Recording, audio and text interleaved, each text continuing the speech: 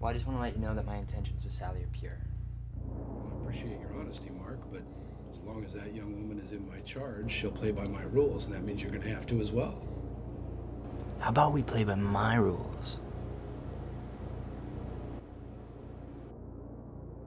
Someone here is not right.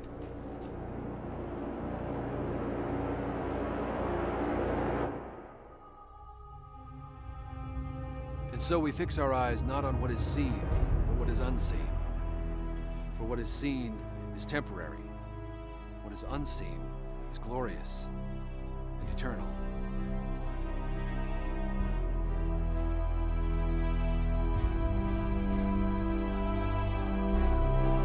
No, don't brush me aside.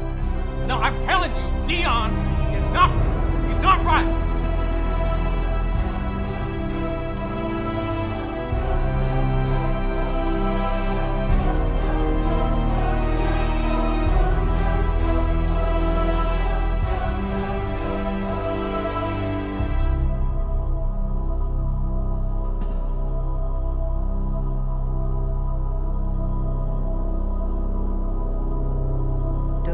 Too deep, Pastor. You might not like what lives down there.